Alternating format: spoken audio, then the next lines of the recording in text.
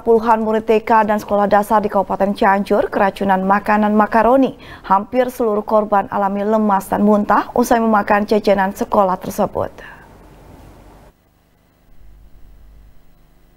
Sekitar 30 murid TK Tunas Karya dan murid SD Negeri Sukanegara 3, Kecamatan Sukanegara, Kabupaten Cianjur, langsung dilarikan ke unit gawat darurat Puskesmas Sukanegara usai memakan makaroni yang dibeli dari pedagang yang berjualan di depan sekolah. Minimnya ruang rawat menyebabkan pihak puskesmas terpaksa menggelar karpet di lantai untuk para korban yang terus bertambah.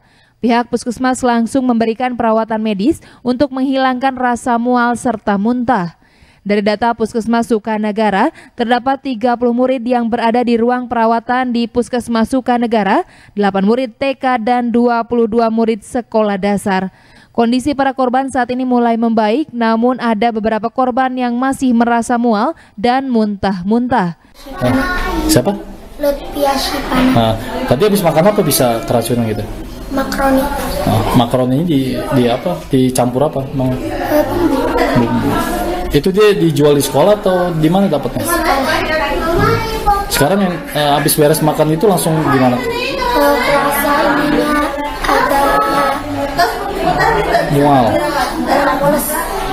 lemes nggak keracunan sih dari siswa dan eh, TK sendiri untuk TK ada berapa jumlahnya bu? TK ada 8 hmm.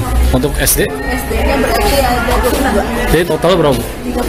30 30 Itu keracunan dari apa bu? e, Dari jajanan e, makanan ringan, makaroni Hmm. goreng Itu dia uh, dari bumbunya atau apanya bu? e, Mungkin itu nanti menunggu hasil MC ya Untuk lebih jelasnya Tapi tadi udah disampel, ya disampelnya semuanya makaroninya sama bumbunya juga sudah ada Pihak puskesmas pun telah mengambil sampel makaroni beserta bumbu dan minyak untuk diuji laboratorium Dinas Kesehatan Cianjur. Heri Setiawan, Bandung TV.